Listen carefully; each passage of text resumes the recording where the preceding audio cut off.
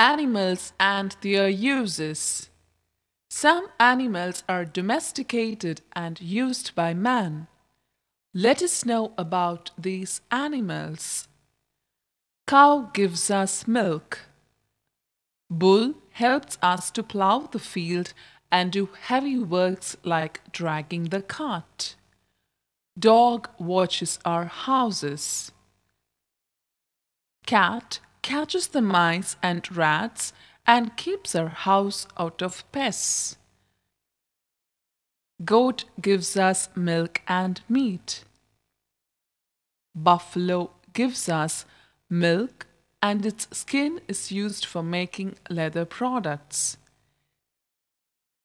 Hen gives us meat and egg.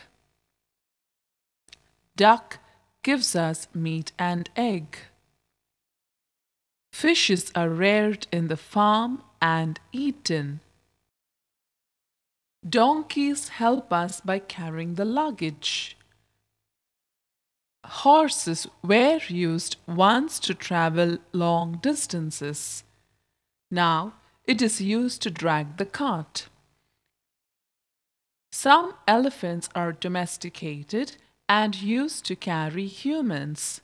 It is also used for heavy work. Earthworm is used to prepare natural manure for the growing crops.